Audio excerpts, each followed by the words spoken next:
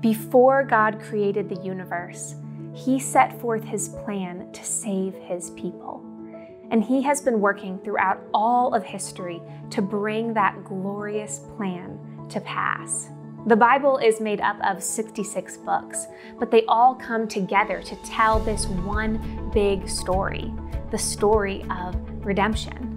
Amen is a five week study that walks through this big picture story of Scripture and shows how all of it points to Jesus Christ.